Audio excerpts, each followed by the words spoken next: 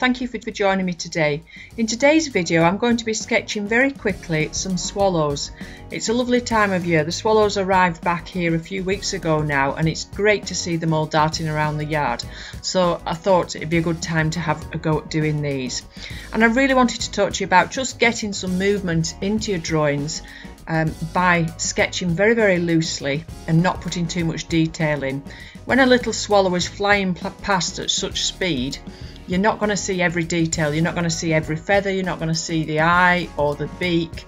So it's just really concentrating on getting some quick shapes down on the paper. And I use calligraphy ink for this, so this is a Daler Rowney calligraphy ink. You'll notice in some of my other videos I also use acrylic inks, but I do find that this one flows off my dip pen a lot more easily than the acrylic ones.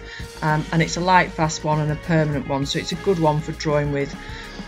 So just keep everything loose, keep your hand loose. You'll see how loosely I'm holding the pen. Don't be tight with your drawing. Don't draw from your wrist. Don't have your wrist and everything tight. Draw from your shoulder, your elbow. Keep your arm moving very loosely. Um, and don't worry about lines that are wrong. Just ignore the lines that are wrong and carry on with the lines that have worked. So if you find something that's worked really well and you like it, you can emphasize it. Something that hasn't worked well, just ignore it and you're just practicing and maybe you might develop these sketches later on into a painting or something but if you just fill a page of your sketchbook up with some little birds out of your garden as they're going past really really quickly and you have to get used to working quickly. So you, it's just the same as if you're doing people in a street or a cafe or whatever just get the basic shapes down. So with the swallows really the basic shapes it's getting that tail in because that's the thing that makes them a swallow and that we can pick them out from another another bird, that very distinctive shape of the tail.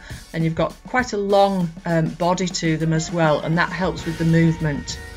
So to make it look as if it's moving, keeping less detail there and working very quickly is going to he all help with that. Keep your pen lines flowing in the direction of the bird, that nice big sweep of the tail. And then at the end you'll notice that I put lots of extra lines on the paper as well just in the direction that the birds are going just all helps to create that sense of movement and energy to the picture really. And you're getting that energy because you're working quickly. Um, so if you work very tightly and you're a very precise worker just now and again get a big piece of rough paper and fill it up with things like this.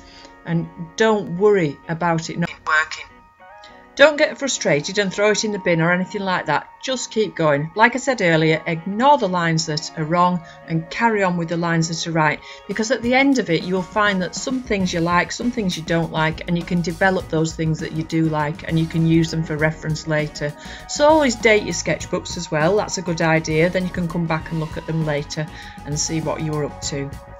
Okay, so I hope you found that useful. Um, for those of you that work in ink, I can highly recommend working in a dip pen. I've had this dip pen for years and I find you get much more expressive line, you get a better variety in your line. So thank you for watching, I hope you found it useful and I'll be back again soon with more tutorials and demonstrations. Don't forget they're every Monday and Thursday from at 2 o'clock in the afternoon. Those of you that are new to my channel, thank you very much for joining us for the first time. And don't forget you can subscribe below and there's a bell there if you want to get notifications of when my new videos are out. So I'll be here again on Thursday. In the meantime, enjoy your painting and drawing and hope you can get outside and maybe have a go at doing some birds. Bye for now.